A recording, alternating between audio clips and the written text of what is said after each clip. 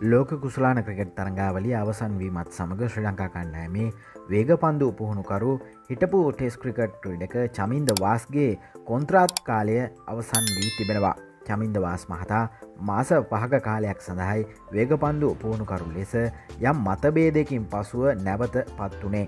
ඒ අනුව වේගපන්දු පුහුණුකර ලෙස වාස්ගේ කොන්ත්‍රාත් ගියවසුම දීර්ඝ කිරීම පිළිබඳව මෙතෙක් නිල ප්‍රකාශයක් ශ්‍රී ලංකා ක්‍රිකට් ආයතනය සිදුකර නොමැති බවයි වාර්තා වන්නේ. ඩෙවිච්ෂේක හිටපු ශ්‍රී ලංකා වේගපන්දු පුහුණුකරු ඉවත්ව යෑමත් සමගයි එම තනතුර සඳහා චමින්ද වාස් මහතා පත් කෙරුණේ.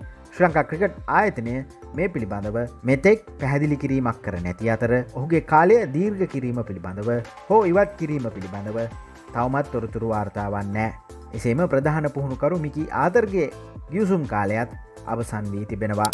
තවද පිතිකරන පුහුණුකරු ග්‍රන්් ෆ්ලවර්ගේද යුසුම් කාලයත් අවසන්. මේ පුහුණුකරුවන්ගේ ගියවසුම් සම්බන්ධයෙන් යම් පැහැදිලි කිරීමක් ඉදිරි දින කිහිපේදී ශ්‍රී ලංකා ක්‍රකට් ආයතනය පැහැදිලි කරනු ඇති. චැනල් එක සබස්ක්‍රයිබ් කරන්න. සීනුවෝබලා වැඩසටහන් ආපුගම්ම දැනගන්න.